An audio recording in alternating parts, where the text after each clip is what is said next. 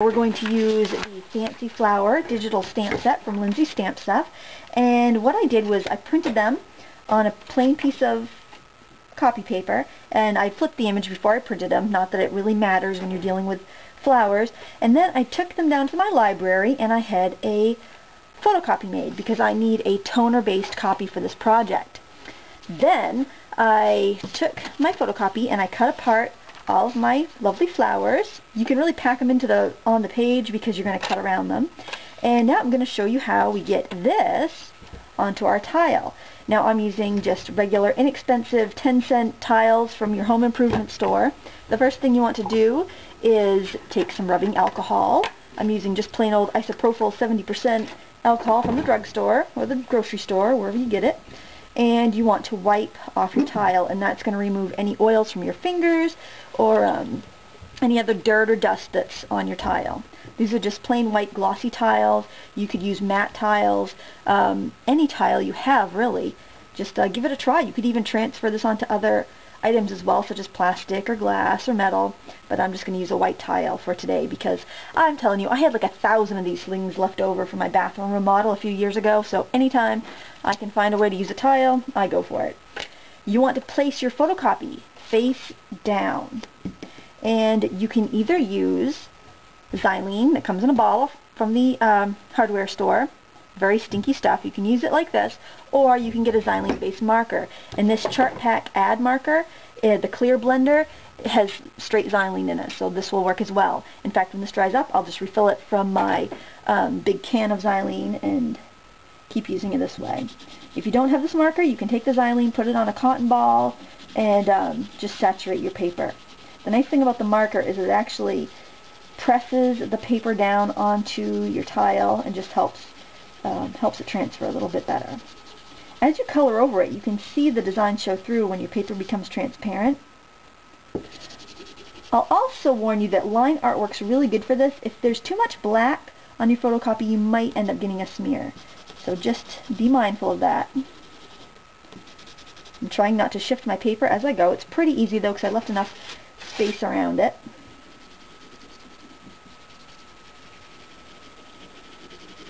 sure it's good and saturated. The nice thing about being able to see through the paper when it's wet is that you can see where you've gotten the juice. Okay, this stuff is very stinky. You want to make sure you have a window open or a fan on or you're going to get a headache. This is not a good project for people that are very sensitive to smells or have um, allergies or any sort of sensitivities, breathing problems, probably not good um, because this is, you know, they're toxic fumes. And here, I've got two bottles open here. That's just wonderful. All right, how many chemicals can we use on this project, I wonder? Now I'm going to take a little peek under there and see how my design is transferred. I'm going to leave it on another second go over some parts. Before you pull the whole thing off, you just want to peek underneath and make sure you got a good, good transfer. You can color down kind of firmly and that will really press that paper on. Ooh, I think it might be smearing a little bit, so I gotta be careful.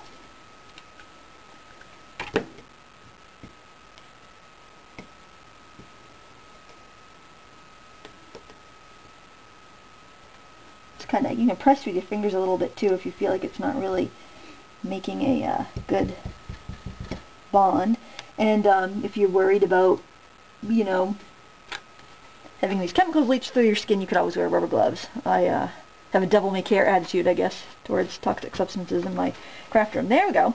We have the pattern transferred on. Now you can go around with a marker and fill in the um, some of the lines later if you want to, but I think this is just fine as is. We're going to let this dry and then we're going to start coloring.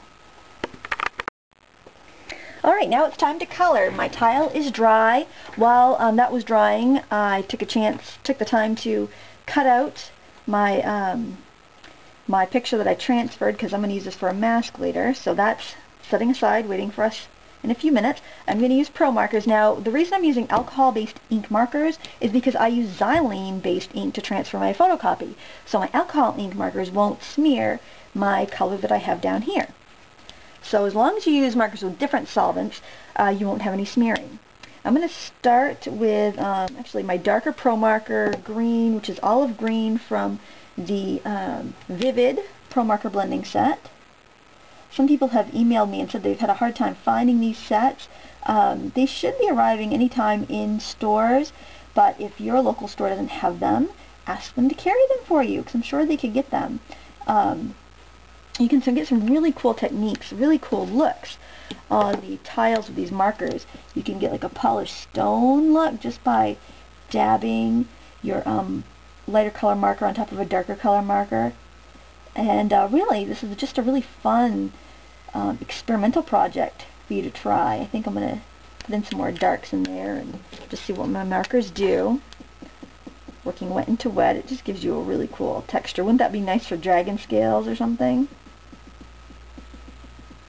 And your markers will stay wetter on this longer than they will on, say, paper because you've got this glossy surface and they can't absorb, so they're just kind of waiting to evaporate, waiting for the solvent to evaporate to dry them.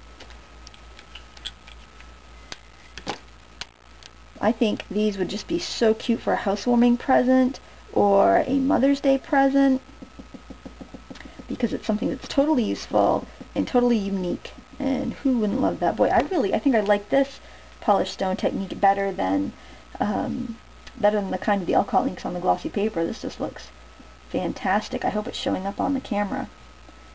Um, if you have a laser printer, which I don't, that's why I hike it down to the library to have my stuff photocopied, you can use a laser printout for this too. You basically just need like a, a toner, a toner-based copy. So that's why it wouldn't work with just my plain old inkjet copy. I had to have a photocopy, which is toner-based, to do it.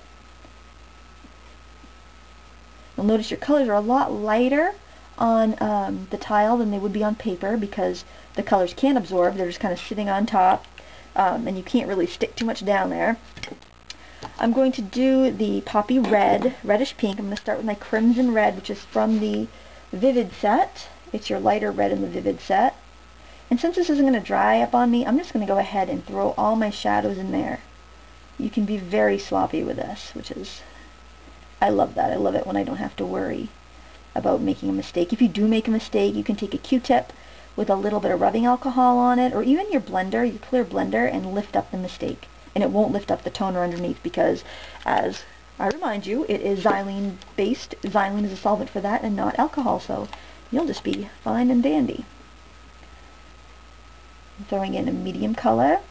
You don't want to work over all your dark like you would if you're working on paper because you'll lift it right up and whisk it away. You want to actually have a little bit of um, contrast there.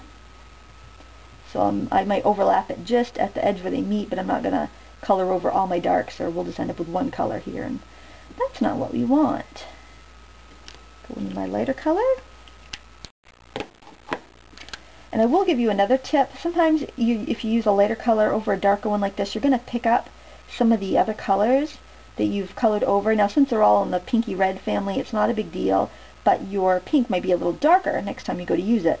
So after you're all done coloring, you will want to just scribble it out on some white paper and that will clear it. That's a good idea after you use your blender too.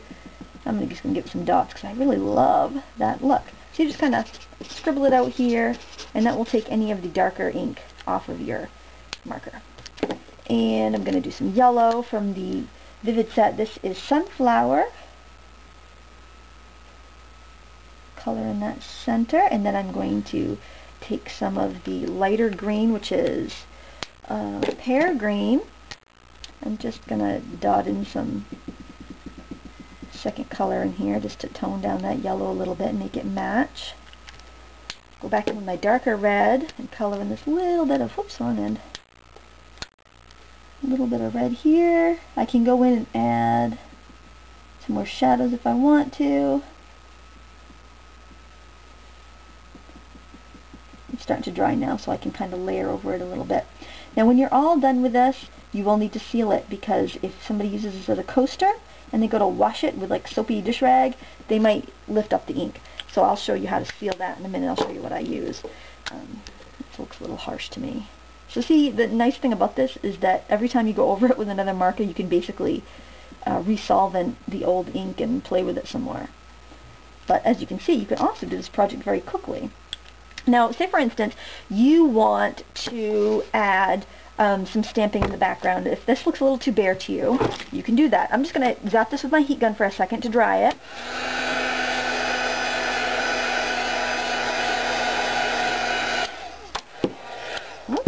I'm going to put my mask over it.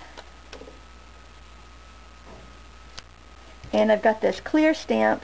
I think it's by my sentiments exactly. It's just a, like a French script. And the reason I'm using a clear instead of like a wood-mounted rubber stamp is that I want to see exactly where I'm stamping. And also, it has a little bit of a squish. Since I'm stamping on something really hard like a tile, I really need something that's got a good cushion on it. I'm using StazOn Jet Black. It's an alcohol-based ink pad. And I'm going to really force pressure on the stamp. So I want to make sure it makes a good contact. Oh, it wants to glue itself down there. Oh, that looks kind of cool. I'm going to just repeat it until I get over the whole tile.